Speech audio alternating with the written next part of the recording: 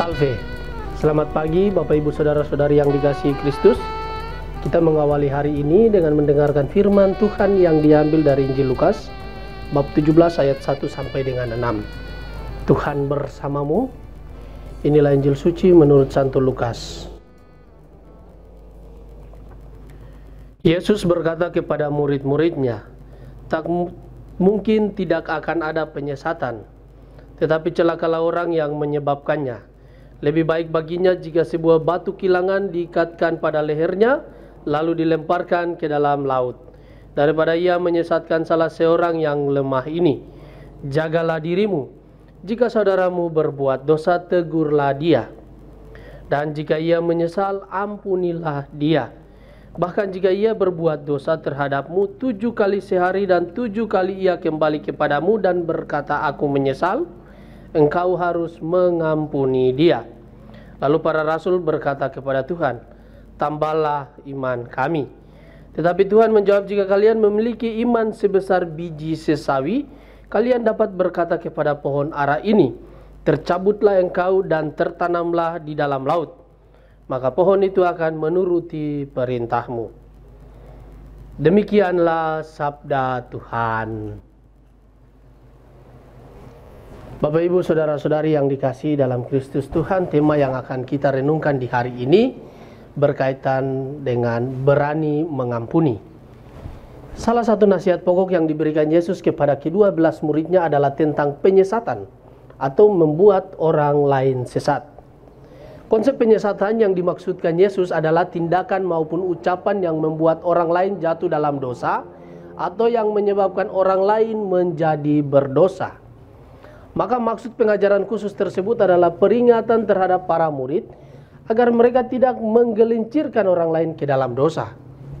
Yesus mengingatkan para murid agar mereka menjaga dan memelihara sikap dan perbuatan serta ucapan mereka agar tidak menyebabkan orang lain menjadi berdosa, kecewa, sakit hati, tersesat bahkan menjadi murtad.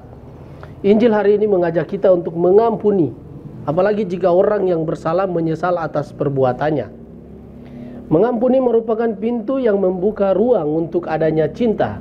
Tanpa adanya cinta, kita akan sampai pada sikap menghakimi dan membenci. Orang perlu mengisi hatinya dengan cinta, dan cinta itu harus berasal dari sumber cinta itu sendiri, yakni Yesus Kristus. Dia yang dengan cintanya telah berkorban untuk kita. Dia yang karena cintanya mengampuni orang yang telah mencaci maki, meludahi, bahkan menyalibkannya.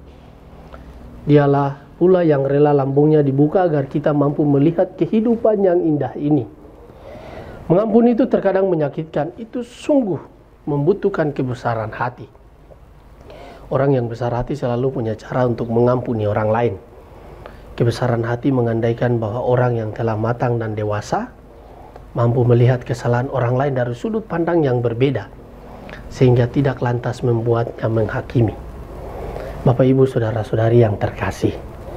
Tidak ada kata dendam, benci apalagi ada, ada apabila ada pertobatan dan pengampunan. Inilah cerminan hidup persaudaraan yang diharapkan Tuhan. Meski mengandung banyak tantangan, pertikaian dan saling menyesatkan. Tuhan mengendaki agar ada pemulihan atas dasar cinta kasih dalam persaudaraan kita di tengah-tengah keluarga atau komunitas masing-masing, gereja dan masyarakat. Mari kita bertanya apakah saya juga termasuk orang yang membawa penyesatan? Apakah ada kesadaran dan penyesalan atas tindakan-tindakan penyesatan yang saya lakukan? Tuhan memberkati kita sekalian. Amin. Marilah kita berdoa. Tuhan pagi ini kembali kami naikkan syukur dan permohonan. Terima kasih sudah menjaga kami saat tidur maupun bangun. Terima kasih untuk udara sejuk dan segar pagi ini. Bukalah mata hati kami di awal hari ini Mampukan kami memandang kemurahan dan karyamu, serta memuji dan memuliakanmu melalui pekerjaan dan pelayanan kami hari ini.